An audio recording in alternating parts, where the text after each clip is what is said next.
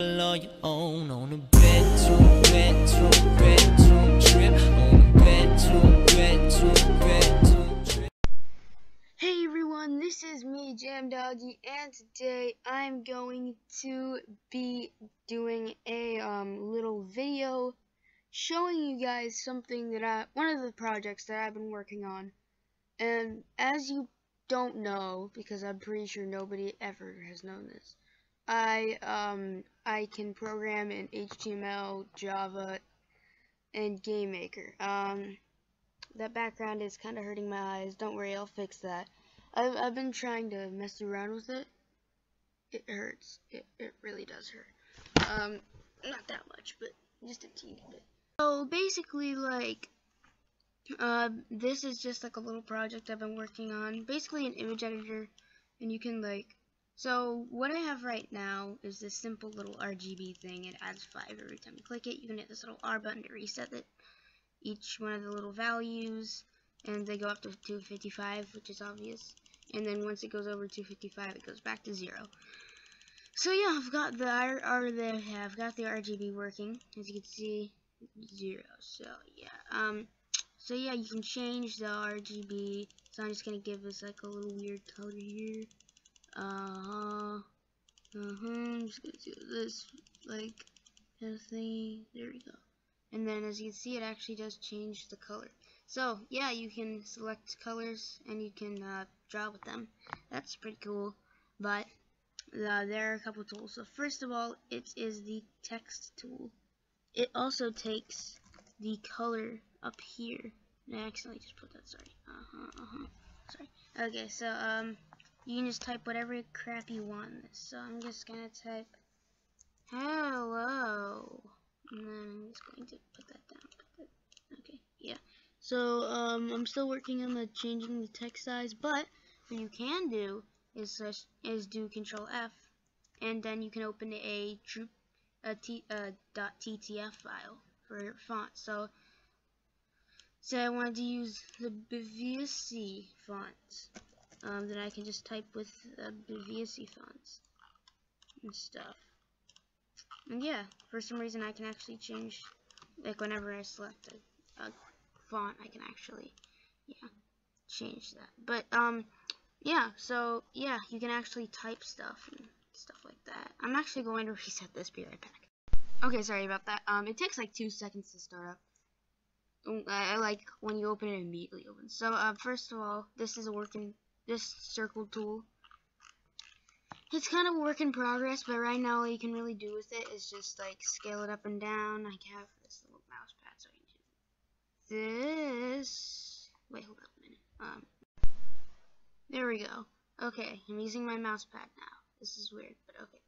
Um, so I just gotta, yeah, is he, like, you can make a gigantic, oh my gosh, this, this, look, that, oh, that's trippy. That's really trippy. Okay, so yeah, um, this is the circle tool. Um, so next tool in the list is actually one that I recently changed. Um, that would be the square tool. Again because it's actually not showing you. So basically, it's just a normal square tool. You can just, you know, do this. Hello, and then you can just release, it'll do that. So, um, you're probably wondering how did I do this in GameMaker, because uh, if you didn't know already by the title, I'm doing this all in GameMaker, this, uh, especially this, well, I'm talking about the square tool. Well, um, before it was just like it would display the square next to the cursor, and then you'd have to use the arrow keys to oh, it still does that apparently. Oh yeah, because, uh, this is the display thing. Okay, so, um, yeah, basically, the way it works is I'll, fix that. You can still use the arrow keys to change what the display square looks like, but that's that's temp that that's actually temporary. You see, so um, like okay, basically whatever you put on this surface, um, you can't like they're not an object. They're not an instance either. They're just like they're stuck to the surface. They're just part of the surface. They're what the surface looks like. And then that's how I actually made the save function because you actually save your image and it'll have like transparency and everything. That's why there's a transparent background there, um, obviously. So yeah, basically how I do this is there are four variables. In GameMaker, um, it needs to know the first point, which when I left click, um, it sets the first point where I left clicked, the first um, point for the x and the y. For and then there's two other variables for the second points. Right, and so they're constantly changing for the display. That's how that they're doing this, if this makes sense. But then when I release this, um, then it takes those those values and actually draws the square with those values onto the surface. So yeah, that's how that works. Um, the next one is image. Okay, so yeah, um, the next function is an image. So basically, the way this works is you hit Control A, and that will uh, then you can just open an image. Um, uh, for some reason, there's I'm just gonna open that. So yeah, as you can see, you just click and it places the image down. So, so for some reason, there's some in, certain in, yeah yeah you gotta be careful when using this tool because it's still slightly buggy. There's a certain um there is a certain image that crashes the thing when I add the thing in. I think it's this one. Open. Open. Yeah. Oh! Oh, it works? Oh. Okay then, I'll take it. Wait a second. Okay, hold up a minute, guys. Oh, I've got to experiment with it. I think I figured it out. I think I know. It, it, it wasn't that. It wasn't that.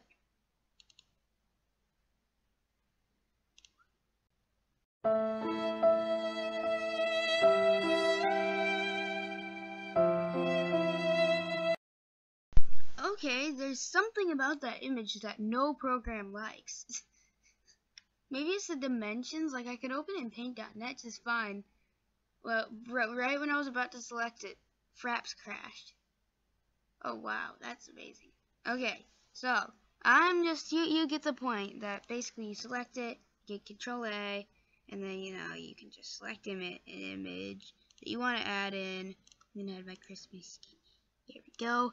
That's your file for my Christmas skin. Woo!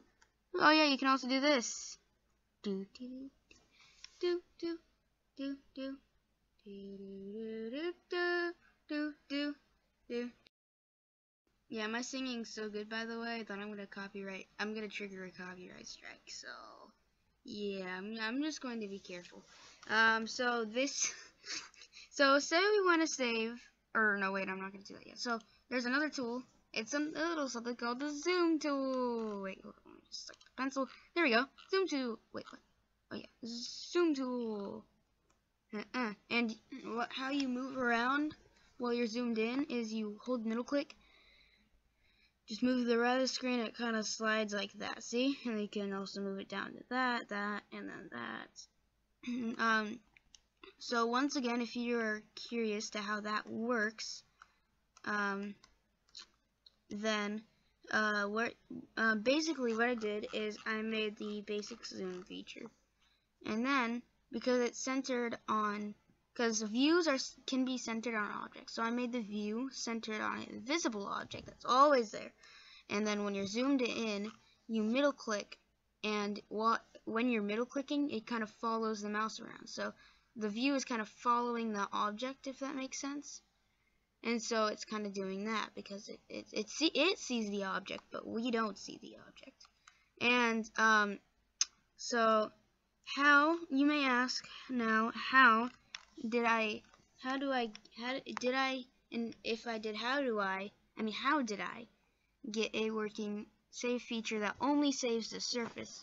Well, I will show you. Well, basically there's just a save um yeah, there's a save surface function in GameMaker. So if I want to save this masterpiece, then we can hit save, and then we can call it um whatever.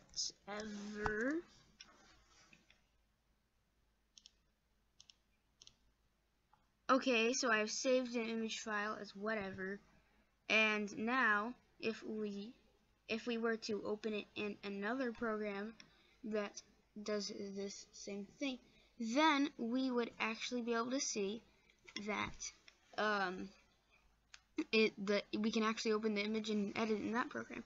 But I can't actually show you that because I'm using Fraps. So let's just search for um, uh, not too sure we saved it as, so I'm just gonna save it again and say blah blah. Okay, there we go. And then I'm gonna open blah mm -hmm, blah blah.png as you can see.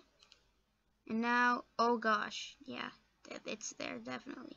And if we wanna, hold up.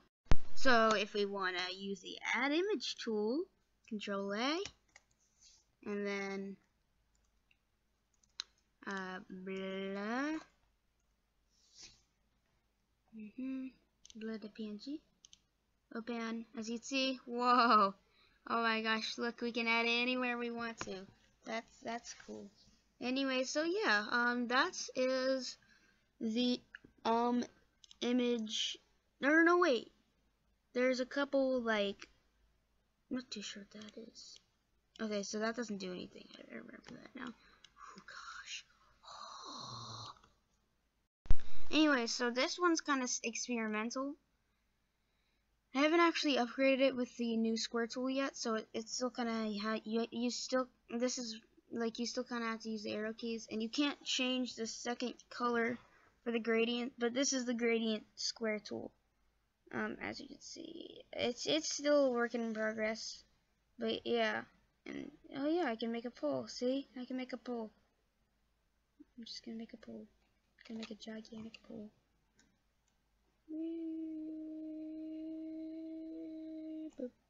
Anyways, guys, that's really all we have time for today today. Hope you guys, that's a different outro. Hope you guys enjoyed this video just as much as I did making it. And yeah, guys, I will see you guys um all next time. Good. Wait a second. I forgot to say one thing. Um, if you guys have any suggestions for this program or maybe you know something I could do differently besides the gradient thing and stuff or maybe because I'm also trying to figure out like how to make the eraser tool working. Because I can I'm, I'm trying to make this like a real program but made in Game Maker and it's actually going really far. If you have any suggestions for the program and or just something that could help me out maybe like link me to a video or I don't know something. Because yeah I don't know just all support helps and yeah guys hope you guys enjoyed this video just as much as I did making it what do you think of this program so far I think it's really nice I've been working on it. And yeah, so hope you guys enjoyed this video just as much as I did making it. And yeah, guys, I've said this intro a million times, and I'll see you guys all next time. Goodbye!